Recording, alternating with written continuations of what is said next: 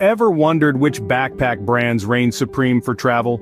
Today we're diving into the top two contenders. First, meet Osprey. Renowned for durability and comfort, Osprey bags are designed with the long-haul traveler in mind. With their anti-gravity technology, these bags distribute weight evenly, reducing strain on your back. Switching gears, we have Patagonia. Known for their sustainable practices and robust designs, Patagonia backpacks are a hit among eco-conscious travelers.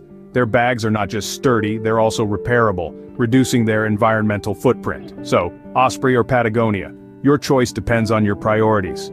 For comfort and endurance, it's Osprey.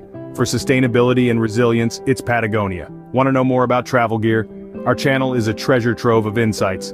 Don't forget to hit subscribe and stay in the know.